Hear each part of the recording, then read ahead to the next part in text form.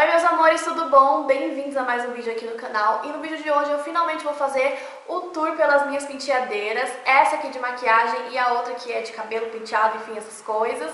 Faz um tempo que eu tô pra trazer esse vídeo aqui pra vocês. E na última semana eu postei é, o tour pelo novo ateliê. Sim, estamos de novo ateliê, se você não tá sabendo ainda e algumas pessoas me lembraram, Evelyn, faz o tour pela penteadeira, faz o tour pela penteadeira. Então hoje eu vim trazer o tour pela penteadeira pra vocês. Já clique em gostei se você gostou, ficou feliz por eu ter trazido esse vídeo.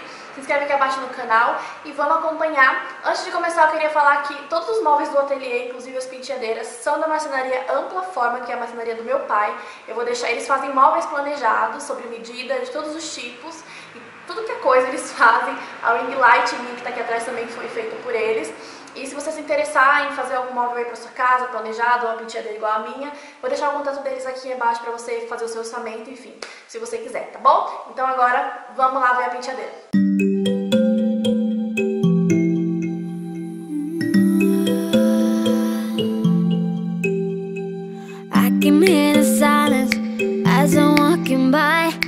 Everyone's so quiet. I know the reason why.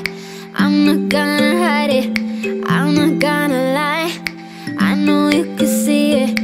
What you got yourself into. What you got yourself into. Então, gente, como vocês viram no tour aqui pelo ateliê novo, é, eu tenho duas penteadeiras, eu já tinha mandado fazer, é, eu vendi aquela outra que eu tinha, que eu tinha mostrado pra vocês, e mandei é, pedir pro meu pai fazer duas pra mim, aquela lá do canto e essa daqui. Essa daqui é mais pra fazer cabelo.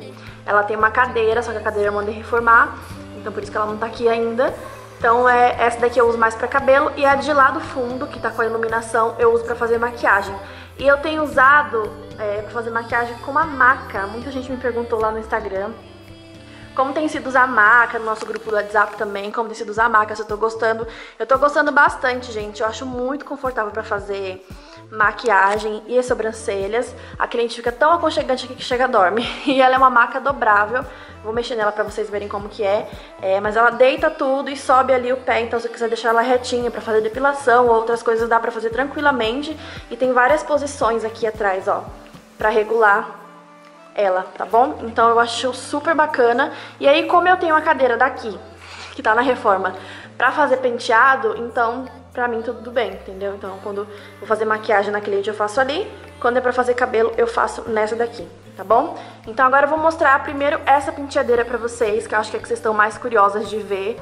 A iluminação dessa penteadeira, gente, ela é feita de LED, tá? A gente tem aqui um acrílico leitoso e o LED aqui dentro. Só que eu achei que não ficou tão forte quanto eu preciso, quanto eu gostaria. Então eu vou ter que trocar o LED. Eu coloquei um super LED aqui, desses que a gente usa as iluminações normais e ficou um pouco fraca, então eu vou ter que trocar o LED que vai aqui dentro, tá? Mas eu optei assim porque eu queria dar aquele mesmo efeito das ring lights, enfim, mas no final das contas acabou ficando muito fraco e eu vou precisar investir um pouco, mais, um pouco mais nos LEDs. A outra penteadeira que eu tinha, ela era efeito camarim, tipo que nem esse é ring light aqui, então eu vou trocar os LEDs, depois eu conto pra vocês se deu certo, tá? Por isso que eu nem coloquei iluminação nesta outra ainda, porque como não deu certo nessa, eu falei assim, ah, então não vou gastar o mesmo LED pra colocar nessa, vou comprar o outro, e aí eu já coloco o outro aqui também, tá bom? Então, gente, eu vou começar a mostrar pra vocês as coisas dessa penteadeira. Primeiro eu vou mostrar o que, que tem aqui em cima, que é pouquinha coisa. Tem ali um vaso de flores, as flores lindas que eu comprei na 25 de março, o meu jarrinho novo. Tem aqui o porta-cotonete e algodão ali. Do outro lado temos pincéis, todos os meus pincéis ficam ali em cima. Eu sei que tem gente que fala assim, ah, não deixa assim porque pega pó, não sei o que, gente, não dá tempo, sabe? Eu uso todo final de semana, então eu lavo todo final de semana, então não dá tempo de pegar pó não, tá? Fica tranquila. então, é, eu uso muito, os pincéis eles ficam ali em cima, tá bom? Em cima daqueles potinhos. Aí agora vamos para as gavetas, vou mostrar pra vocês, começando por este lado aqui. As gavetas estão mais ou menos na ordem que eram as outras, os produtos e tal, que era a outra penteadeira, porque eu quis deixar mais ou menos igual pra não ficar tão perdida, né? Porque eu tava acostumada com aquele esquema lá, então assim eu achei melhor. Então vou começar com essa gaveta. Ó, ela tá, as divisões são um pouco diferentes da, da outra, porque eu preferi que ela fosse mais funda pra caber é, corretivo em pé, assim, por exemplo. Esse lado aqui tem só máscaras de cílio. Tem muitas máscaras de cílio. Tem aqui desde Dylos até MAC, Beauty, Big Bang, que eu uso bastante. Eu adoro o aplicador dessa, dessa máscara. É, Vult, enfim. Essa daqui que é da Belly Angel, enfim, tem várias máscaras de cílios. Nesse compartimento eu tenho só corretivos. Então tem corretivo da Natura, Maybelline, é, Ruby Tracta, o que mais aqui? Esses são igual. Ruby Rose, Ruby Rose também, enfim. Vários corretivos, Mary Kay, tá? Então tem vários tipos de corretivo aqui nessa gaveta. Nessa outra gaveta as coisas estão meio misturadas, mas basicamente o que tem é, é essas colas de cílios, que são as que eu mais uso, essa daqui da Atelier Paris e essa da Duo. Tem também acessórios de cílios, tipo esse, que é para que eu coloco cílios para poder secar. Esse aqui que é para uma pinça de aplicar cílios. Tem também apontador.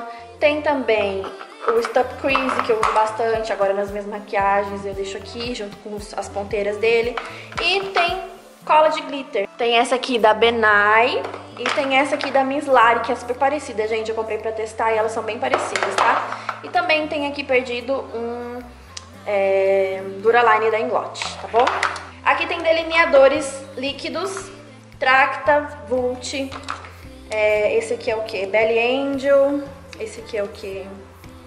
É, RK by Kiss. Enfim, delineadores líquidos, Inglot, delineador em gel e Mary Kay delineador em gel. Nessa daqui também tá um pouco misturado, eu tenho alguns potencializadores de sombras da Bitar, que eu não tenho usado muito, mas eles estão aqui. Tem o branco, tem o bege e tem o preto também, que deve estar perdido por aí. Esse aqui é um diluidor da Mislari, que eu comprei pra testar também. Ele é bom, deixa um pouco resistente os produtos, mas não deixa prova d'água, tá? Mas ele é bem legal. É, e tem vários lips labiais aqui, que eu uso bastante também, sempre dá o lábio da cliente. Tem também um esfoliador labial, esse aqui é da Colors. E perdido aqui tem uma camuflagem da Maquier. Tem que arrumar outro lugar pra colocar ele, mas ele fica aqui, que ele é bem grandão, tem bastante espaço, na gaveta tem pouca coisa. Vindo pra trás aqui tem só sombras unitárias e duos de sombra, de sombras que eu gosto de usar. Tem da Vult, tem da Dylos, enfim, tem da Revlon, tem um invertidinho aqui da Revlon, enfim. São sombras luz e sombras unitárias.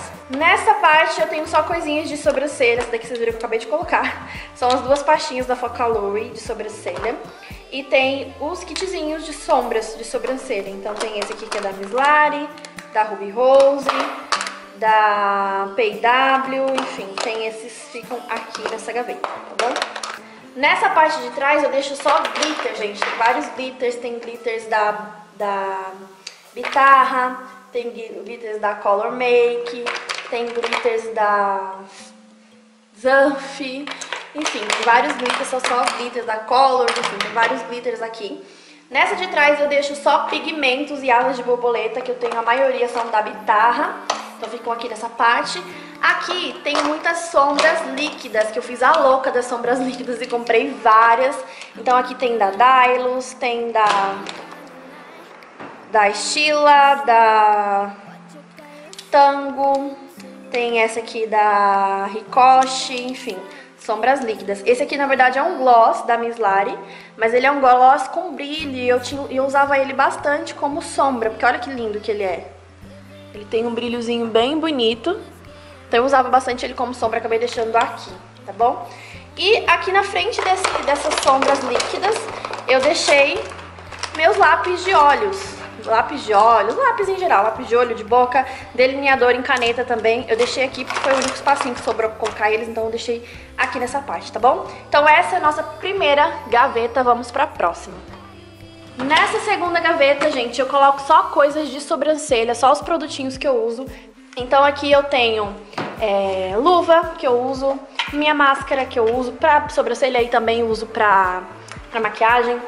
Tem cotonete, lâmina e as minhas pinças, tem dois pacotinhos, eu sempre deixo os toquezinhos aqui, mas também tem as pinças que eu reutilizo. Na verdade, essas aqui estão para esterilizar, porque foram dos últimos, dos últimos meses aí, do final do ano e tal. É, eu deixo aqui, ó, tem várias aqui. E depois eu esterilizo e as que, as que dá pra usar eu uso, as que não dá eu vou juntando pra levar no ferro velho. Teve muita gente que me criticou no vídeo sobre sobrancelhas quando eu falei do meu material, porque eu disse que eu descartava as pinças, né? E aí eu parei pra pensar que realmente é muito poluente. Olha o tanto de pinça que eu, que eu usei só em, tipo, uns dois meses. É muita coisa. Então, é, eu hoje em dia eu faço isso, eu esterilizo, reutilizo e o que não, que não der pra usar, porque às vezes ela fica estraga, sabe? A pontinha dela fica ruim, eu junto pra levar no ferro velho, porque daí lá eles reciclam, tá bom? Então, tem aqui, ó, bastante pinça. Aqui atrás tem as coisas da sobrancelha também, então tem os meus, os meus, as minhas renas, estão aqui atrás. Tem esse creminho que eu uso na sobrancelha, tem o navalhete, tem o paquímetro, tem a, os lápis, enfim, tem as coisas de sobrancelha no geral, estão aqui nesta gaveta, tá bom? Agora vamos pra do meio, que tá abrindo sozinha. Então essa é a gaveta do meio, ela tá até um pouco mais vazia, porque eu andei fazendo vários desapegos no, no Instagram. Inclusive, se você não me segue, vai lá me seguir, que tá tendo um sorteio de desapego lá e de coisas novas também. Sorteio bem bacana de começo de ano. Então vai lá me seguir e vai participar, tá bom? Vamos lá. Essa primeira parte aqui tem só batons. Tem um lip aqui perdido. Vou botar ele pra cá. Mas aqui é só batom. Mas eu não tô gostando muito do jeito que tá, porque a gaveta é bem funda, bem funda. E tá um em cima do outro e eu não consigo ver todos. Então eu acho que eu vou mudar isso aqui. Vou colocar de uma outra forma, mas por enquanto tá aqui todos os meus batons. E aí quando eu tenho que pegar um, eu fico aqui tirando um por um pra ver os que estão embaixo. Então aqui só batom.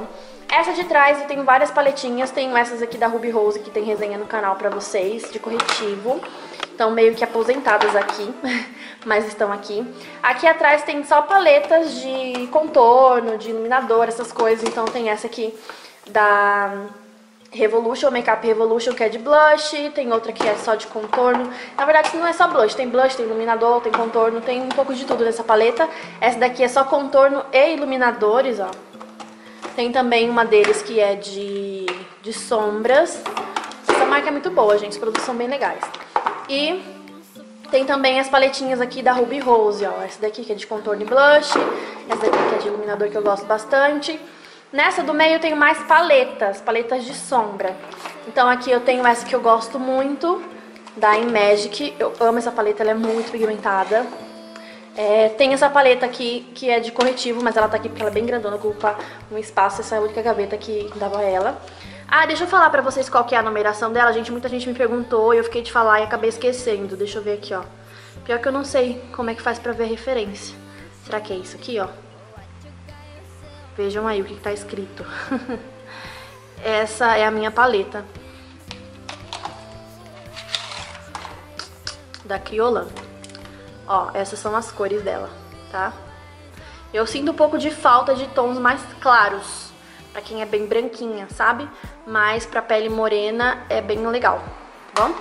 Outra paleta que tem aqui que eu uso muito, que eu amo demais de paixão, é essa paleta aqui da Duda Fernandes pra Arela Makeup, que eu amo, amo muito, gente. Olha o buraco que já tá aqui nessa daqui que eu uso bastante. Esse preto também é muito bom, enfim, eu gosto muito dessa paleta. E ela tá até na caixinha, porque, né, muito amor. ela fica aqui também. Aqui eu tenho dois produtinhos, esse daqui que eu não uso muito, que é o Magic Fix da Ruby Rose. Eu achei que deixou minha pele muito oleosa, então eu não tô usando, mas ele tá aqui. Ele ocupa um espaço, a caixa dele é muito bonitinha, por isso que eu deixei na caixa. Tem esse produtinho que eu tenho usado bastante, quero até trazer uma resenha pra vocês, que ele é pra alterar o tom da base, sabe? É, eu achei que é bem bacana, funciona e não deixa a base tipo oleosa ou com menos durabilidade. Ele é da Face Beautiful e eu tenho usado muito, principalmente o clareador, até em clientes eu usei e deu super certo.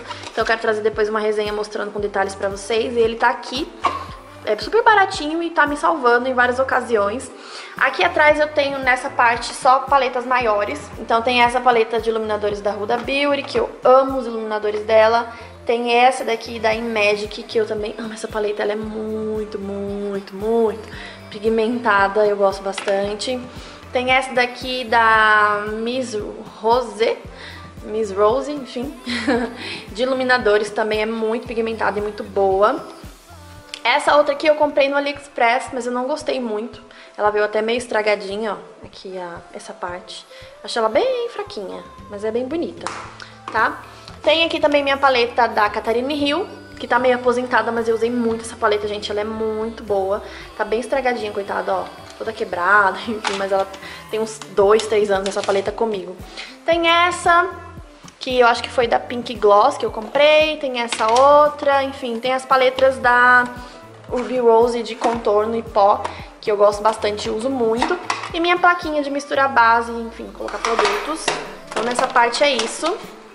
Eu tô bem compacta, gente, porque eu fiz vários desapegos. Vão lá ver as coisinhas que estão nos desapegos do de maquiagem lá no Instagram, tá bom? Então, a gaveta do meio é isso. Tem mais batons na outra penteadeira, eu vou mostrar pra vocês, porque aqui não cabia tudo, né? Vamos pra gaveta da lateral. Esta gaveta é a gaveta de bases e pó. Vamos começar por esse lado. Aqui eu tenho as bases da MAC, tá? Eu comprei esse pup diferente porque era mais barato no Mercado Livre. Então elas ficam aqui. Aqui eu tenho Aqui outra base da MAC que tá fechadinha. Aqui as bases da Atelier Paris, que estão uma em cima da outra, porque elas não cabem em pé, então ficaram aqui na caixinha. Eu gosto muito da caixinha, que eu deixei as caixinhas. aqui também eu tenho diluidor da Ana Paula Marçal, que eu uso muito nas bases. Tem também este daqui, o primer da Revlon, que é o que eu mais uso, que eu, tô, eu amo esse primer, tô amando muito. Foi indicação de uma amiga maquiadora. Eu tô gostando porque ele adapta super bem várias peles. Amei esse primer. Tem também esse Avon, né, o Magix da Avon, que também é muito bom. Tem o da Ruby Rose, que eu uso mais em mim. E tem este produtinho que eu misturo com a base da Tele Paris, que eu já mostrei pra vocês na resenha, expliquei porquê. Se você não assistiu ainda, vai lá assistir a resenha sobre essa base da Tele Paris, tá bom? Aqui atrás eu tenho umas bases da Mary Kay. Não vou abrir a gaveta toda, gente, porque o tripé tá bem aqui na frente. Mas aqui são só bases da Mary Kay, tá? Que eu ainda uso um pouco em clientes. Essa daqui do meio são bases que eu uso mais, algumas eu uso para uso profissional, mas a maioria eu uso mais em curso. Então tem muitas bases da Vult que eu uso em curso, tem da Ruby Rose, tem até as amostrinhas da Ruby Rose aqui também, da Tracta, essas aqui da a quem disse Berenice, eu gosto muito delas, são bem parecidas com a da Mary Kay, porém elas são bem sequinhas, não é toda cliente que dá pra usar, mas eu tenho algumas aqui, tem algumas da Pausa para Feminices, enfim, às vezes eu uso em clientes também, mas a maioria eu uso mais em curso, tá? Dessa parte aqui. Essa outra parte são só produtos de pós compactos, então esse é um que eu uso muito, que é o pó solto da Renata Mendes para Arela Makeup, que é muito bom esse pó. Então tem vários pós aqui, pó da Vult, pó da Vult também, de, é, iluminador da Natura, deu branco no nome, blush da Vult, pó banana da Bislari, enfim, tem vários pós e blushes nessa parte aqui, tá bom? As coisas que eu mais uso. Eita, tá caindo tudo aqui. Então agora vamos pra última gaveta dessa penteadeira, que são só produtos de pele e cílios postiços. Então aqui atrás eu tenho vários kitzinhos de cílios, eu uso muito esses cílios aqui, gente da Real Love para clientes, que eles são bem fininhos, delicadinhos.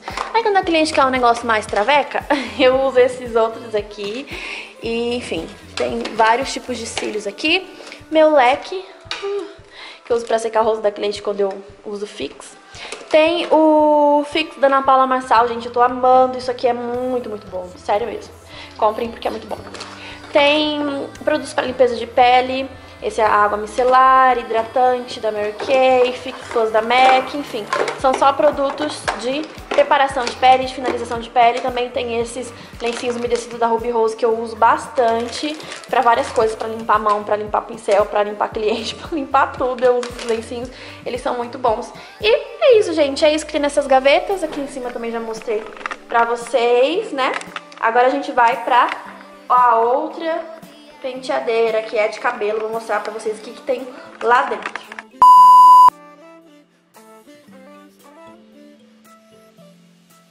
Bom, gente, então tá aí pra vocês as duas penteadeiras. Vou deixar alguns detalhes técnicos, como medidas e outras coisas, lá no post do blog, que eu acho um pouco chato ficar falando demais aqui no vídeo, e ainda mais que eu queria mostrar as duas penteadeiras pra vocês. E também o contato da Amplaform, o Instagram deles, tudo eu vou deixar aqui no box de informações e lá no post do blog também, caso você queira entrar em contato, fazer o seu orçamento, tá bom? Então é isso, clique em gostei se você gostou, se inscreve aqui abaixo no canal, continue dando sugestões de vídeos aqui abaixo, que eu adoro essa interação com vocês, trazer o que vocês realmente querem ver. Tá bom, amores? Um beijo e até o próximo vídeo. Tchau!